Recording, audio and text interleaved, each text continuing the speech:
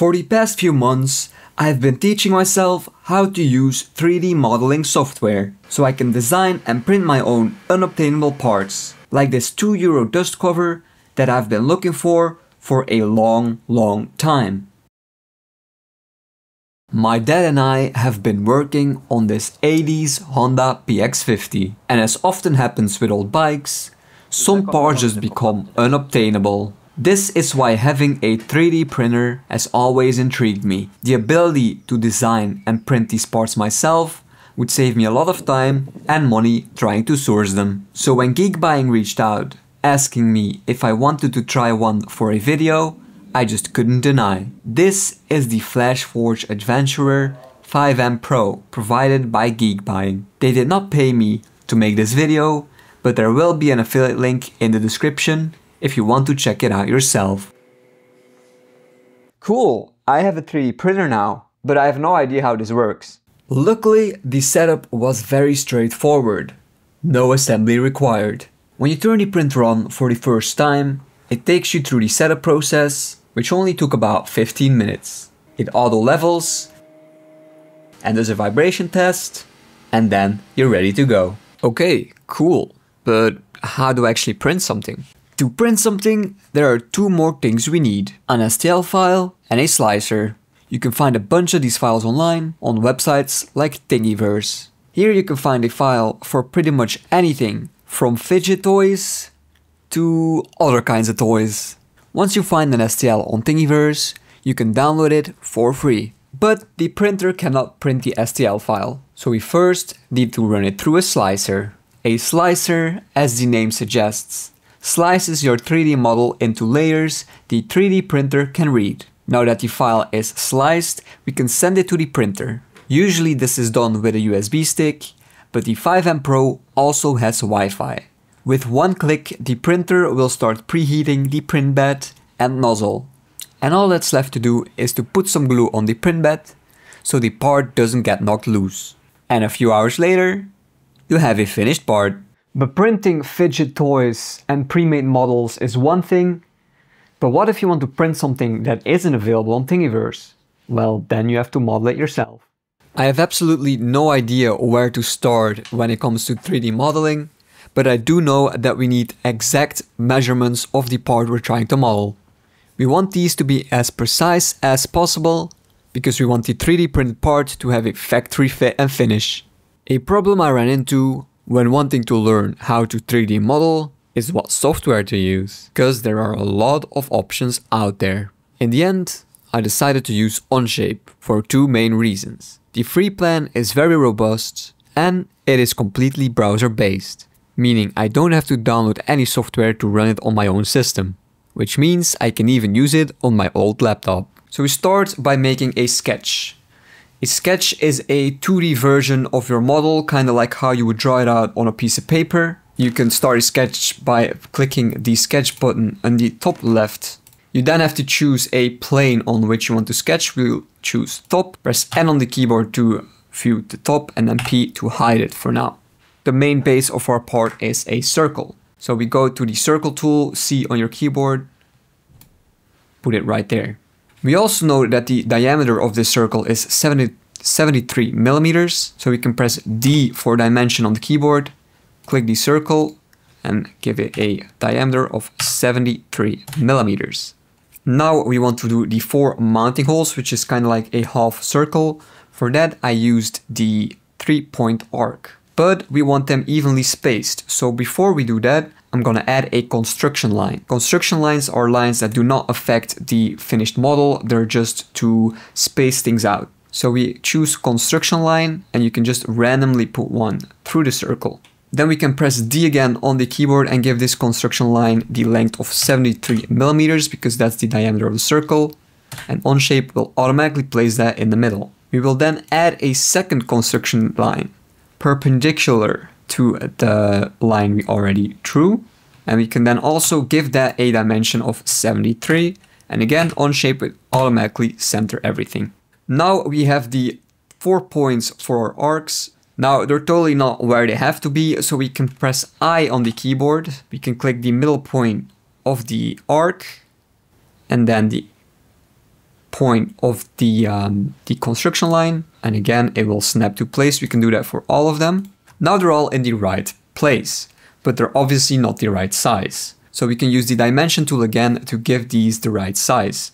We measured it with the calipers and the distance between the two points of the arc should be about 16 millimeters. I'm gonna press D on the keyboard again, select this point, select this point, and we can make this 16 millimeters.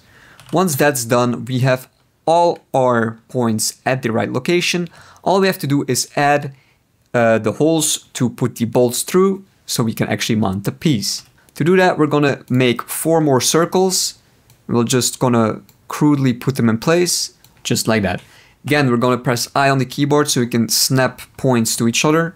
We're gonna take the middle point of the circle, put it right on the middle point of the arc. And then all that's left is give these circles the correct dimensions. And this should be around 6 millimeters because I believe it's an M6 bolt that goes through it.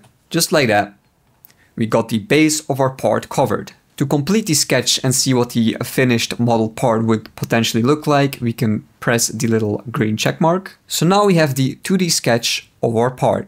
Now obviously we don't want it to be 2D, so we're going to extrude the part. You can do so by clicking the extrude button on the top left or shift E on your keyboard. Now all you gotta do is carefully select what parts you want to extrude. So obviously we want the middle circle to be extruded. So we click that. And the arcs. Make sure to not click the holes we made for the bolts, otherwise they will be filled in. We don't want that. And then we can set how thick we want this part to be. I'll measure the part to be about 2.7 millimeters. And just like that, we have our 3D model base. Now all I want to do to this base is make these corners a little bit less sharp. So how you can do that is you select the part where they join, select all of them, and then you can press fillet or shift F. This will add a little smooth ramp to make it look a little bit cleaner. Now the part is definitely not finished yet, but what I want to do is quickly print this to see if the dimensions are right and can put it up to the bike and see if we are on the right track. And about 15 minutes later, we have a finished part. The dimensions were actually spot on, which I'm very happy with, and the bolt fits perfectly through the bolt hole. So far so good. Just to be sure, I also wanted to hold the part up to the bike, which is where I noticed that there were little tabs above the bolt holes, which I didn't know, that I somehow have to work around. I did a quick Google search for one of those original dust covers, and on a picture I saw that the tabs were actually flattened at the top something I didn't realize because my dust cover had all these tabs broken off. So in order to continue the sketch, you can double click on sketch 1 and this will open the sketch back up. What we want to do now is punch a big hole in the center because the cover is not completely solid. Again, we can place that wherever and use the coincide tool to snap it to the middle point of our circle. We then want to give this a dimension. We measured it at 51 millimeters.